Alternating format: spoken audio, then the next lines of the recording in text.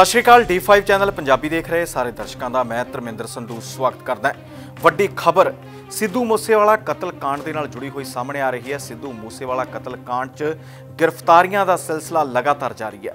ਤੇ ਇਸੇ ਦੇ ਚੱਲਦਿਆਂ ਪੰਜਾਬ ਪੁਲਿਸ ਵੀ ਲਗਾਤਾਰ ਦਿੱਲੀ ਤੋਂ ਪੰਜਾਬ ਦੇ ਵਿੱਚ ਮੁਲਜ਼ਮਾਂ ਨੂੰ ਲੈ ਕੇ ਆ ਰਹੀ ਹੈ, ਪੁੱਛਗਿੱਛ ਕੀਤੀ ਜਾ ਰਹੀ ਹੈ ਤੇ ਹੁਣ ਦਿੱਲੀ ਪੁਲਿਸ ਤੋਂ ਬਾਅਦ ਪੰਜਾਬ ਪੁਲਿਸ ਨੂੰ ਵੱਡੀ ਕਾਮਯਾਬੀ ਮਿਲੀ ਹੈ। ਪੰਜਾਬ ਪੁਲਿਸ ਨੇ ਚਾਰ ਗੈਂਗਸਟਰਾਂ ਦਾ ਜਿਹੜਾ ਰਿਮਾਂਡ ਹਾਸਲ ਕਰ ਲਿਆ ਦੱਸਦੀ ਕਿ ਪ੍ਰੇਵਰਤ ਫੌਜੀ ਤੇ ਕਸ਼ਿਸ਼ ਸਣੇ ਚਾਰ ਮੁਲਜ਼ਮਾਂ ਨੂੰ ਟ੍ਰਾਂਜ਼ਿਟ ਰਿਮਾਂਡ ਦੇ ਉੱਤੇ ਪੰਜਾਬ ਲਿਆਂਦਾ ਗਿਆ ਪੰਜਾਬ ਦੇ ਵਿੱਚ ਪੁੱਛਗਿੱਛ ਕੀਤੀ ਜਾਵੇਗੀ। ਰਾਤ ਤਕਰੀਬਨ 4 ਵਜੇ ਦੇ ਕਰੀਬ, ਯਾਨੀ ਸਵੇਰੇ 4 ਵਜੇ ਦੇ ਕਰੀਬ ਪੰਜਾਬ ਪੁਲਿਸ ਇਹਨਾਂ ਚਾਰਾਂ ਨੂੰ ਲੈ ਕੇ ਮਾਨਸਾ ਪਹੁੰਚੀ ਹੈ। ਮਾਨਸਾ ਦੇ ਸੀਆਈਏ ਸਟਾਫ ਦੇ ਵਿੱਚ ਇਹਨਾਂ ਨੂੰ ਰੱਖਿਆ ਗਿਆ ਹੈ।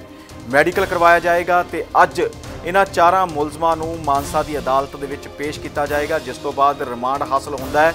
ਤਾਂ ਪੁਲਿਸ ਪੰਜਾਬ ਪੁਲਿਸ ਇਹਨਾਂ ਤੋਂ ਵੱਡੇ ਸਵਾਲ ਕਰ ਸਕਦੀ ਹੈ, ਪੁੱਛਗਿੱਛ ਕੀਤੀ ਜਾ ਸਕਦੀ ਹੈ, ਕਿਉਂਕਿ ਅਜੇ ਕਈ ਸ਼ੂਟਰ ਗ੍ਰਿਫਤਾਰ ਨਹੀਂ ਹੋਏ। ਸ਼ੂਟਰ ਫਰਾਰ ਨੇ, ਉਹਨਾਂ ਦੇ ਟਿਕਾਣਿਆਂ ਬਾਰੇ ਵੀ ਪਤਾ ਲਗਾ ਸਕਦੀ ਹੈ ਪੰਜਾਬ ਪੁਲਿਸ। ਤੁਹਾਨੂੰ ਵੱਡੀ ਖਬਰ ਦੱਸ ਰਹੇ ਹਾਂ ਕਿ ਚਾਰ ਮੁਲਜ਼ਮਾਂ ਨੂੰ, ਜਿਨ੍ਹਾਂ ਦੇ ਵਿੱਚ ਪ੍ਰੇਵਰਤ ਫੌਜੀ ਅਤੇ ਕਸ਼ਿਸ਼ ਦਾ ਨਾਮ ਸ਼ਾਮਲ ਹੈ, ਸ਼ੂਟਰ ਨੇ ਦੋਵੇਂ। ਇਹਨਾਂ ਦੇ ਸਣੇ ਚਾਰ ਜਣਿਆਂ ਨੂੰ ਪੰਜਾਬ ਪੁਲਿਸ ਪੰਜਾਬ ਲੈ ਕੇ ਆਈ ਹੈ। ਇਸ ਤੋਂ ਪਹਿਲਾਂ ਲਾਰੈਂਸ ਬਿਸ਼ਨੋਈ ਨੂੰ ਵੀ ਪੰਜਾਬ ਲਿਆਂਦਾ ਗਿਆ ਸੀ, ਜਿਸ ਤੋਂ ਪੁੱਛਗਿੱਛ ਕੀਤੀ ਗਈ ਸੀ ਤੇ ਕਈ ਅਹਿਮ ਖੁਲਾਸੇ ਹੋਏ ਸੀ। ਤੇ ਇਸੇ ਦੇ ਚੱਲਦਿਆਂ ਹੁਣ ਇਹਨਾਂ ਚਾਰਾਂ ਮੁਲਜ਼ਮਾਂ ਤੋਂ ਵੀ ਰਿਮਾਂਡ ਲੈਣ ਤੋਂ ਬਾਅਦ ਖੁਲਾਸੇ ਹੋਣ ਦੀ ਉਮੀਦ ਜਤਾਈ ਜਾ ਰਹੀ ਹੈ। ਤੁਹਾਨੂੰ ਦੱਸ ਦਈਏ ਕਿ 29 ਮਈ ਨੂੰ ਸਿੱਧੂ ਮੂਸੇਵਾਲਾ ਦਾ ਕਤਲ ਕੀਤਾ ਗਿਆ ਸੀ, ਤਾਬੜਤੋੜ ਗੋਲੀਆਂ ਚਲਾਈਆਂ ਗਈਆਂ ਸੀ, ਜਿਸ ਦੇ ਚੱਲਦਿਆਂ ਸਿੱਧੂ ਮੂਸੇਵਾਲਾ ਦੀ ਹੱਤਿਆ ਹੋ ਗਈ ਸੀ, ਮੌਤ ਹੋ ਗਈ ਸੀ।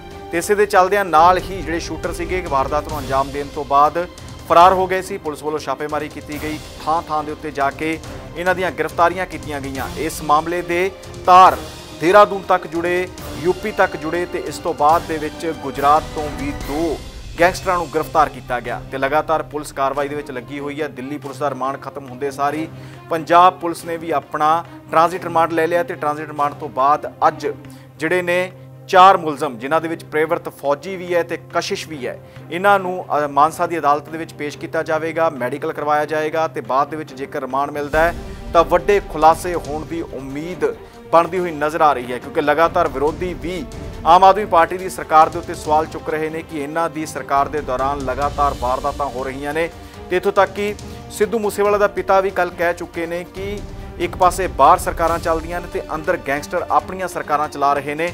ਉਹਨਾਂ ਨੇ ਵੀ ਵੱਡਾ ਬਿਆਨ ਦਿੱਤਾ। ਉਹਨਾਂ ਦਾ ਕਹਿਣਾ ਹੈ ਕਿ ਸਿੱਧੂ ਮੂਸੇਵਾਲਾ ਨੂੰ ਮਾਰਨ ਵਾਸਤੇ 40 50 ਬੰਦੇ ਲੱਗੇ ਹੋਏ ਸੀ। ਇਸੇ ਕਰਕੇ ਉਹਨਾਂ ਨੇ ਵੀ ਕਿਹਾ ਕਿ ਗੈਂਗਸਟਰ ਜਿਹੜਾ ਵਾਦ ਆ ਉਹ ਖਤਮ ਹੋਣਾ ਚਾਹੀਦਾ ਹੈ, ਕਿਉਂਕਿ ਗੈਂਗਸਟਰ ਨਹੀਂ ਸੋਚਦੇ ਕਿ ਕਿਸੇ ਘਰ ਦਾ ਇੱਕੋ ਲੌਤਾ ਜਿਹੜਾ ਚਿਰਾਗ ਆ ਉਹ ਬੁਝਾ ਦਿੱਤਾ ਜਾਂਦਾ ਹੈ। ਸੋ ਬਲਕੌਰ ਸਿੰਘ ਵੀ ਕੱਲ ਕਾਫੀ ਭਾਵੁਕ ਨਜ਼ਰ ਆਏ ਤੇ ਹੁਣ ਤੁਹਾਨੂੰ ਵੱਡੀ ਖਬਰ ਦੱਸ ਰਹੇ ਹਾਂ ਕਿ ਚਾਰ ਮੁਲਜ਼ਮਾਂ ਨੂੰ ਦਿੱਲੀ ਤੋਂ ਟ੍ਰਾਂਜ਼ਿਟ ਰਿਮਾਂਡ ਦੇ ਉੱਤੇ ਪੰਜਾਬ ਲਿਆਂਦਾ ਗਿਆ ਹੈ। ਪੰਜਾਬ ਪੁਲਿਸ ਲੈ ਕੇ ਆਈ ਹੈ। ਮਾਨਸਾ ਦੇ ਸੀਆਈਏ ਸਟਾਫ ਦੇ ਵਿੱਚ ਇਹਨਾਂ ਨੂੰ ਰੱਖਿਆ ਗਿਆ ਹੈ।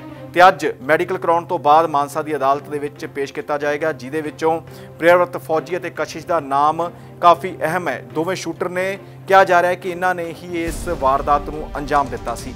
ਹੁਣ ਦੇਖਣਾ ਹੋਵੇਗਾ ਕਿ ਪੁਲਿਸ ਇਹਨਾਂ ਨੂੰ ਰਿਮਾਂਡ ਤੇ ਲੈਣ ਤੋਂ ਬਾਅਦ ਕੀ ਸਵਾਲ ਪੁੱਛਦੀ ਹੈ ਤੇ ਇਹ ਜਿਹੜੇ ਮੁਲਜ਼ਮ ਨੇ, ਇਹ ਕੀ ਖੁਲਾਸੇ ਕਰਦੇ ਨੇ। ਕੈਮਰਾਮੈਨ ਗੁਰਪ੍ਰੀਤ ਸੱਭਰਵਾਲ ਦੇ ਨਾਲ ਮੈਂ ਧਰਮਿੰਦਰ ਸੰਧੂ ਜੁੜੇ ਰਹੋ D5 ਚੈਨਲ ਪੰਜਾਬੀ ਦੇ ਨਾਲ। ਹੋਏਗੀ ਕਿਸਾਨਾਂ ਦੀ ਗੱਲ ਨਵੀਂ ਖੇਤੀ ਮਸ਼ੀਨਾਂ ਬੀਜਾਂ ਤੇ ਬਾਗਾਂ ਦੀ ਗੱਲ। ਲੈ ਕੇ ਚੱਲਾਂਗੇ ਤੁਹਾਨੂੰ ਰੰਗਲੇ ਪੰਜਾਬ ਦੇ ਖੇਤਾਂ ਵੱਲ।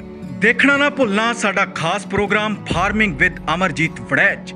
ਸੋਮਵਾਰ ਤੋਂ ਸ਼ੁੱਕਰਵਾਰ ਸਵੇਰੇ 7:30 ਵਜੇ D5 ਚੈਨਲ ਪੰਜਾਬੀ ਤੇ। ਕੀ ਹੁੰਦੀ ਹੈ ਜਮਾਬੰਦੀ? ਕਿਵੇਂ ਬਣਦੀ ਹੈ ਵਸੀਅਤ? ਜ਼ਮੀਨ ਜਾਇਦਾਦ ਦੇ ਹਰ ਮਸਲੇ ਤੇ ਕਰਾਂਗੇ ਚਰਚਾ। ਦੇਖਣਾ ਨਾ ਭੁੱਲਣਾ ਸਾਡਾ ਖਾਸ ਪ੍ਰੋਗਰਾਮ naibtehsildar.com 5 ਚੈਨਲ ਪੰਜਾਬੀ, ਹੁਣੇ ਸਬਸਕ੍ਰਾਈਬ ਕਰੋ ਬੈਲ ਆਈਕਨ ਤੇ ਕਲਿੱਕ ਕਰੋ।